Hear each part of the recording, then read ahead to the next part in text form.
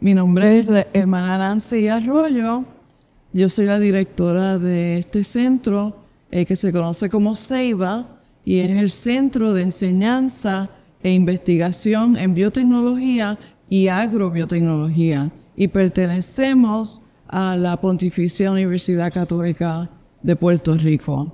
Eh, se fundó el centro en el 2011 y nuestra meta principal es precisamente, como dice el nombre, la enseñanza de los programas de bachillerato y maestría en biotecnología y la investigación.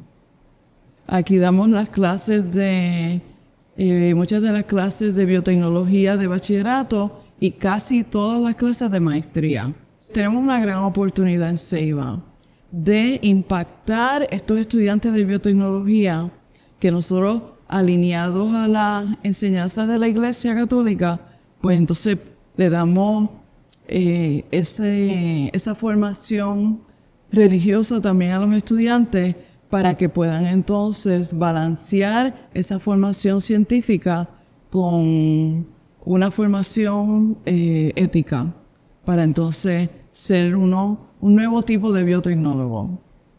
Pravia siempre ha estado presente en nuestra historia como centro. Pero había sido bien importante y siempre ha tenido un interés especial en nosotros. Y pues nosotros lo agradecemos muchísimo porque como una, un centro pequeño necesitamos unos aliados como Pravia.